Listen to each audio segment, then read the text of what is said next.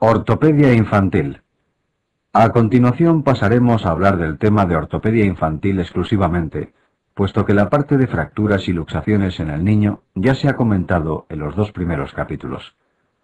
Se trata de un tema en el que centraremos nuestro estudio en el diagnóstico diferencial de la cadera del niño, pero hay una serie de apartados, como el de la epifisiolisis, pie infantil, osteocondrosis, etc., que merece la pena repasar por su frecuencia e importancia.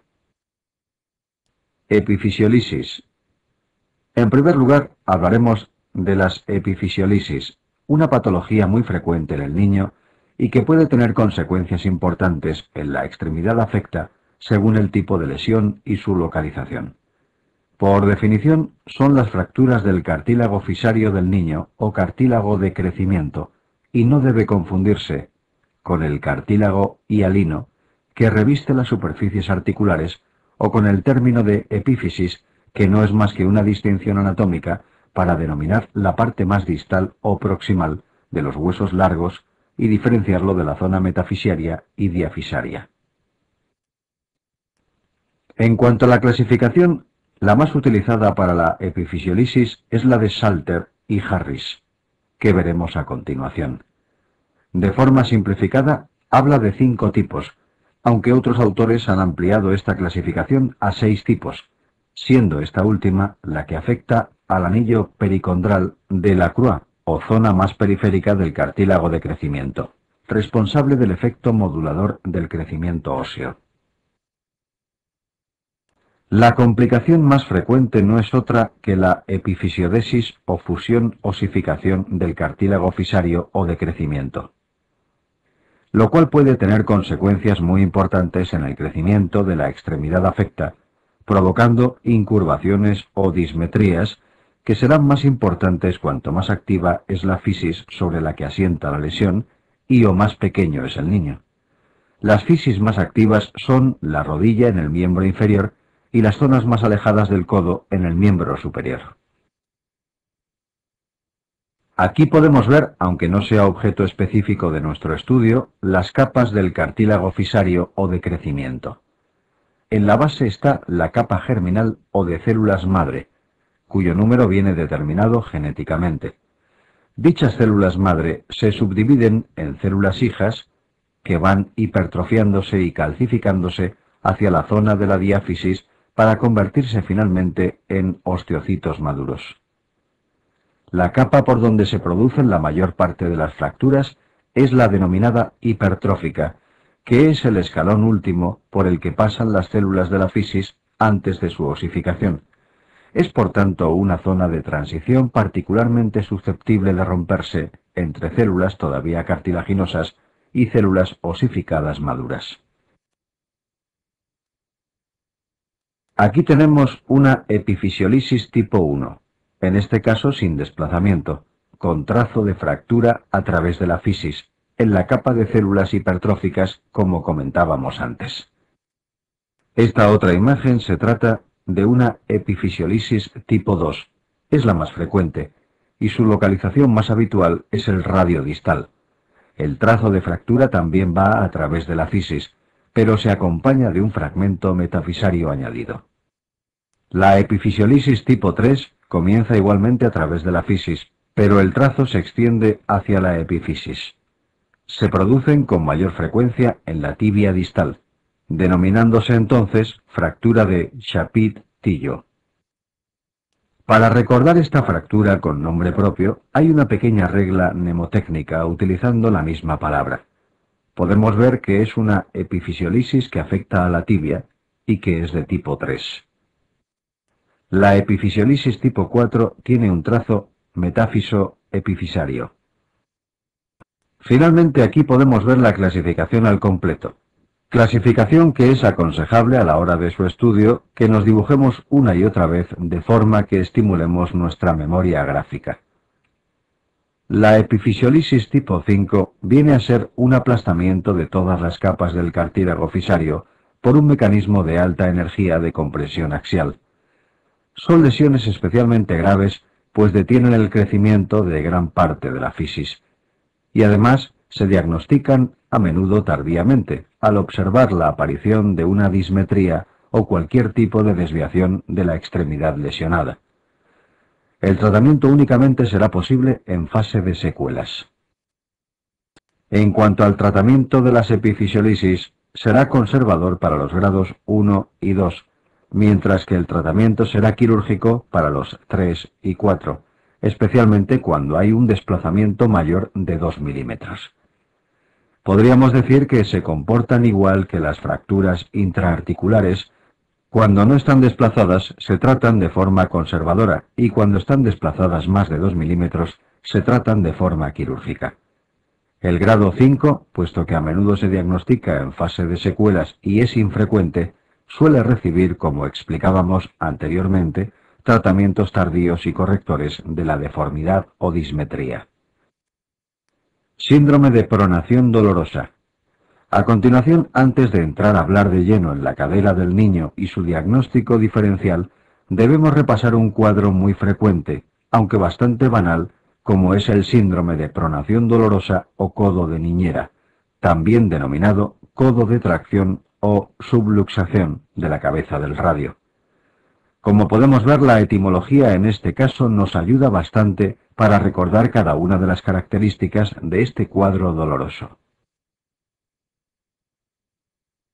Se produce en niños pequeños, por lo general de dos o tres años, que al ir de la mano del padre, madre o la niñera, sufren un tironcito brusco del brazo al caer al suelo o al echar a correr, y tal cual le tiran tal cual se quedan, con el brazo semipronado en extensión y doloroso.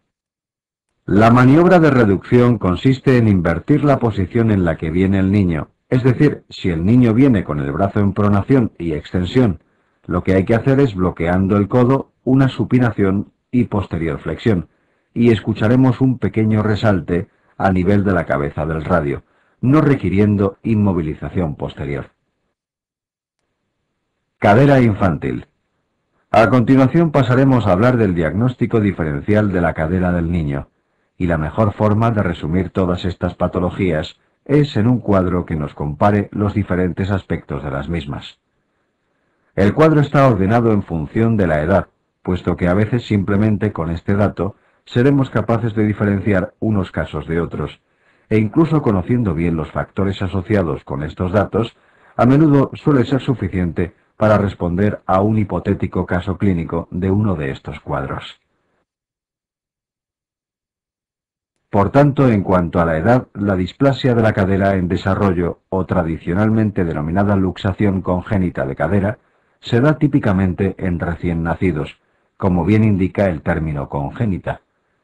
La artritis séptica del lactante se da en torno a uno o dos años, y es que por definición lactante es un niño menor de un año.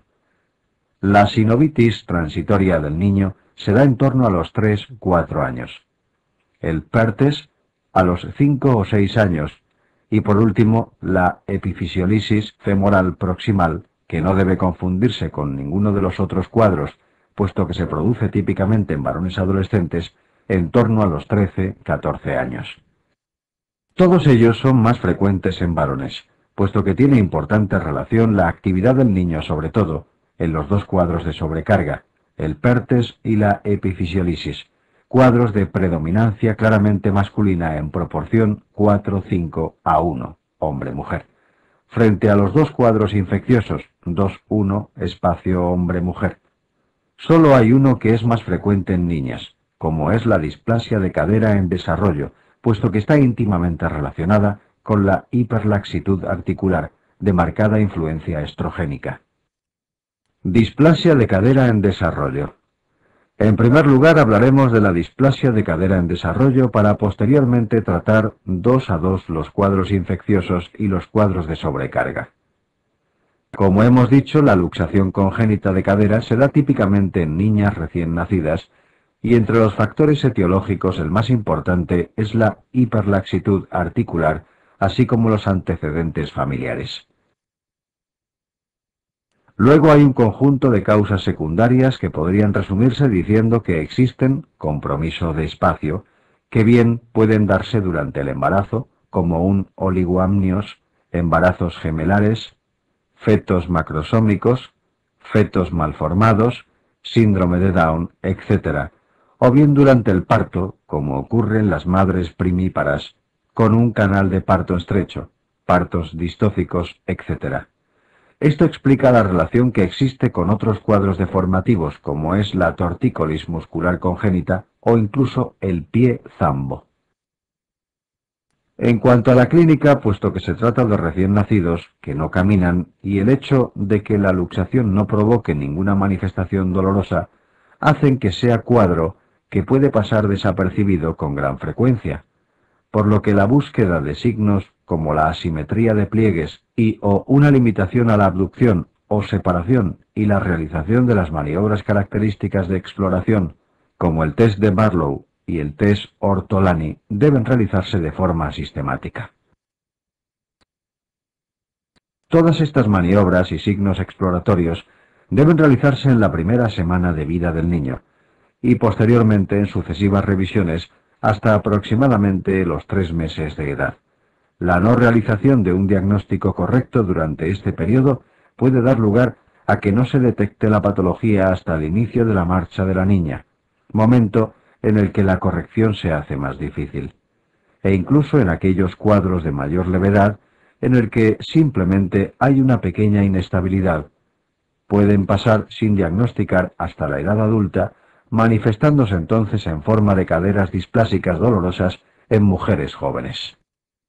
Se considera que los test de Barlow y de Ortolani son positivos cuando se escucha un resalte o clic característico al hacer entrar o salir la cadera de su sitio. El test de Barlow es el que luxa la cadera y el test de Ortolani el que introduce la cadera en su posición. Cuando uno de estos test es positivo, se debe proceder a la realización de una ecografía para confirmar el diagnóstico. También es aconsejable la realización de la ecografía cuando existen factores de riesgo durante el embarazo, como los que hemos visto, o antecedentes familiares. Hay un pequeño truco que nos permite recordar en qué consiste cada una de estas maniobras. El test de Barlow, el que luxa la cadera, es out, mientras que el test de Ortolani es el que introduce la cadera y es in. En esta diapositiva podemos observar cómo existe una limitación a la abducción en la cadera derecha con dos pliegues frente a un pliegue en la cadera izquierda, y un test de Alice o signo de Galeazzi positivo al encontrarse la cadera luxada más baja que la no luxada, al trazar una línea perpendicular al polo superior de rótula con las rodillas en flexión. En cuanto al diagnóstico en niños menores de tres meses, es de primera elección la ecografía, puesto que no está formado el núcleo óseo cefálico de la cabeza femoral y éste no puede verse en la radiografía. La posibilidad de realizar una resonancia se descarta por la necesidad de la sedación del niño. A partir de los tres meses, el diagnóstico se realiza mediante radiología convencional, puesto que ya puede verse el núcleo óseo cefálico. Estará situado en el cuadrante externo, a diferencia de la cadera contralateral.